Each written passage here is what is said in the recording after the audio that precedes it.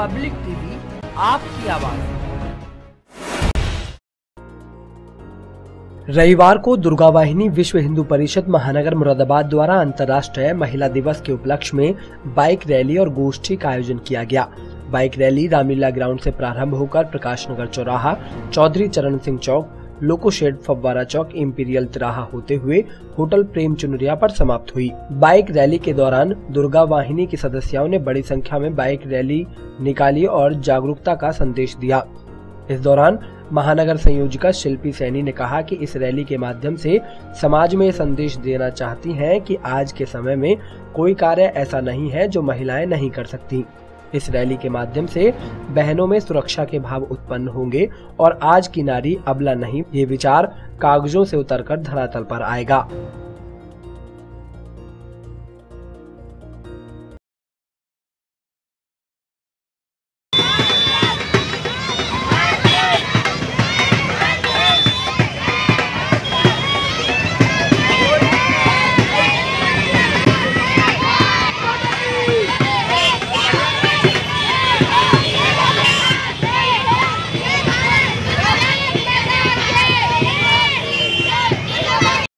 तो सभी महानगर वासियों को अंतर्राष्ट्रीय महिला दिवस की हार्दिक शुभकामनाएँ। आज हम सब यहाँ पे लाइन बार रामला ग्राउंड में एकत्रित हुए हैं एक सशक्त नारी का समाज को उद्देश्य देने के लिए। और हम यहाँ से प्रस्थान करेंगे प्रेम चुनरिया होटल पे, जहाँ पे हमारी दुर्गा वाहिनी का आज कार्यक्रम है, विचार गोष्ठी कार्यक्रम है। बस के उपलक्ष्य में हम सब लोग एक रैली निकाल रहे हैं और हम सब लोगों का सिर्फ़ इतना ही कहना है कि महिला, नारी ऑलरेडी अपने आप में सशक्त है, ज़रूरत है तो अपनी पहचान को पहचानने की। हमें किसी को साबित करने की ज़रूरत नहीं है कि हमें हिम्मत दें या हमें सशक्त करें क्योंकि हम ऑलरेडी सशक्त हैं।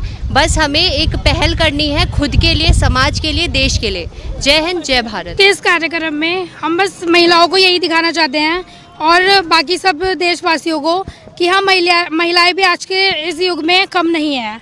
और हम सबको यही प्रेरित करना चाहते हैं कि आ, हमारे जैसे आगे भी उन लोगों को अपनी ऐसी ही रैली टाइप कुछ निकालना चाहिए। और महिलाओं के लिए सबसे बड़ा वो है कि अपने घर से निकलें और देश के लिए भी कुछ करें।